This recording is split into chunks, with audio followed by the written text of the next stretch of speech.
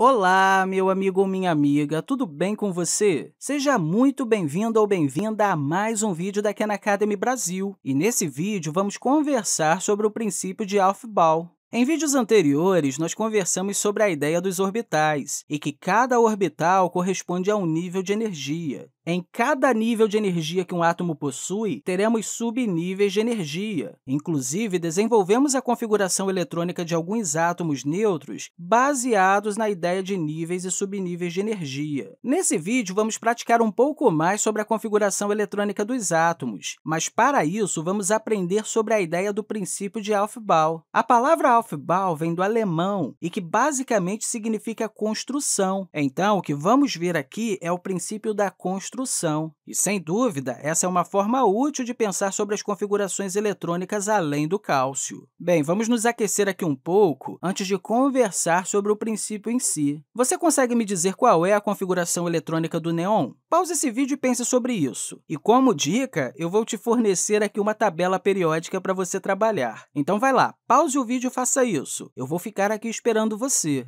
E aí, pensou nisso? Vamos fazer isso juntos aqui agora. O neon tem um número atômico igual a 10. E se estamos falando sobre um átomo de neon neutro, ele também terá 10 elétrons. Os dois primeiros vão preencher a primeira camada, ou o primeiro nível de energia. Portanto, temos um S2. Em seguida, os próximos dois vão preencher o subnível 2s no segundo nível. Então, teremos 2s2. Ainda temos mais 6 elétrons para chegar a 10, não é? Eles vão preencher o subnível 2p da segunda segunda camada. Então, teremos 2p6. Então, qual é a ordem dos subníveis que acabamos de preencher? Bem, primeiro nós preenchemos um S, depois 2S e depois 2p. Você também pode ver isso na tabela periódica dos elementos. Nessa primeira linha, estamos preenchendo a primeira camada. Na segunda linha, estamos preenchendo a segunda camada. Agora, o que vai acontecer se a gente fizer isso com o argônio? Se a gente for para o argônio, como que a configuração eletrônica vai ficar? Pause o vídeo e pense sobre isso. Bem, podemos usar a configuração de gás nobre, que também é chamada de notação de gás nobre. Podemos escrever aqui que temos a configuração eletrônica do neon,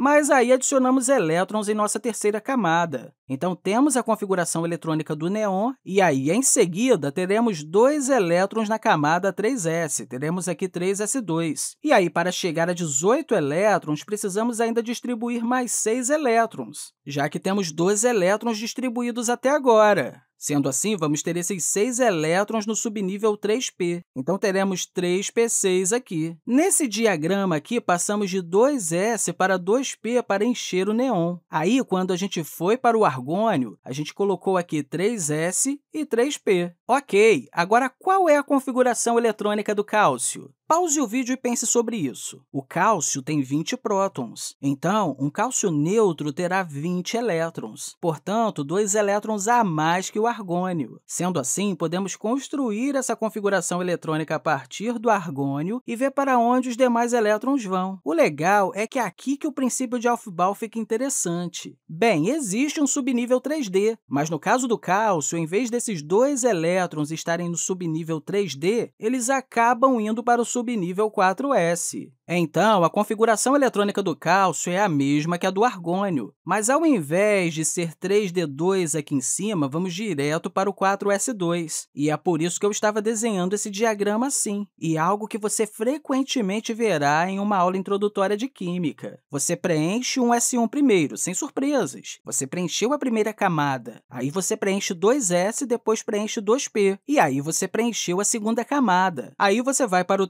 3S, uma vez nova novamente sem surpresas. Aí a gente vai para 3P, e agora temos uma surpresa, e é aí que esse diagrama e o princípio de Aufbau se torna útil. Para fins de configuração eletrônica, se você está pensando sobre o potássio ou o cálcio, os elétrons extras vão agora para o subnível 4s. Beleza, vamos pensar agora sobre como que é a configuração eletrônica do escândio. Pause esse vídeo e pense sobre isso aí novamente. Bem, o escândio tem um próton a mais que o cálcio. Ele tem 21 prótons e, se for neutro, também vai ter um elétron a mais em relação relação ao átomo de cálcio neutro. Sendo assim, eu vou ter uma configuração eletrônica semelhante. Assim, podemos nos basear no argônio. Temos dois elétrons na subcamada 4s, então eu vou escrever 4s2. E o princípio de Aufbau descreve isso através desse pequeno diagrama aqui. Sendo assim, teremos um elétron aqui no subnível 3D, ou seja, temos aqui 3D1. E essa é a configuração eletrônica para o escândio. Agora, se o princípio de Aufbau te fez pensar que você está preenchendo 4S primeiro, e aí depois você começa a preencher 3D, tome cuidado com isso. Se você realmente estivesse construindo um átomo de escândio, a gente começaria com o núcleo contendo 21 prótons. Aí, ao distribuir os elétrons, teríamos 18 elétrons até o 4S2. A partir daí, faltam 3 elétrons para serem distribuídos. O primeiro desses elétrons elétrons não vai direto para o 4s, ele vai primeiro para o 3D, aí depois os outros dois que serão colocados no 4s. Muita gente se confunde com isso, mas basicamente é assim que ocorre. Bem, eu não quero te confundir muito com isso, eu só fiz aqui um pequeno comentário para que você já saiba sobre isso. Afinal, o objetivo desse vídeo é pensar sobre a configuração eletrônica e como o princípio de Aufbau pode ser útil para isso. Agora, para fins de configuração eletrônica, temos aqui 3D, depois 4P e depois vamos para o 5S. E é por isso que você vai ver esse diagrama diversas vezes ao longo de sua vida escolar. Enfim, a grande lição aqui é que o princípio de Aufbau e esse diagrama é útil para configurações eletrônicas e pode ser muito útil pensar sobre isso quando você está construindo esses átomos elétron por elétron.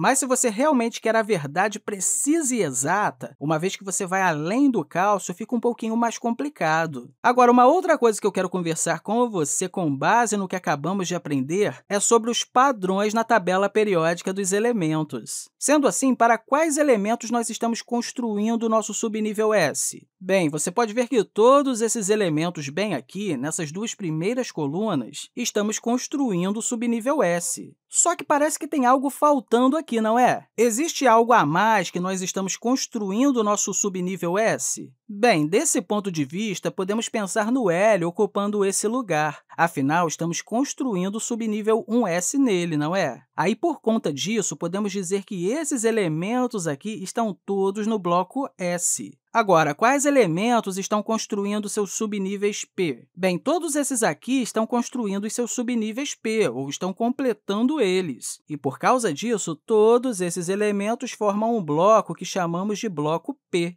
E esses elementos aqui no meio, bem aqui, em que o escândio é um deles, são chamados de bloco D. Agora, uma razão pela qual as pessoas podem chamar esse bloco de bloco D é que, se você realmente pensar no princípio de Aufbau como a construção de átomos, pode ser tentador dizer, olha, estamos construindo aqui na quarta linha o subnível 3D, ou na quinta linha o subnível 4D. Bem, agora sabemos que isso não é verdade, mas, do ponto de vista da configuração eletrônica, pode parecer assim. E é por isso que esse bloco aqui é chamado de bloco D, e eu vou deixar isso aqui assim, ok? Bem, eu espero que você tenha compreendido tudo que a gente conversou aqui, e mais uma vez eu quero deixar para você um grande abraço e até a próxima!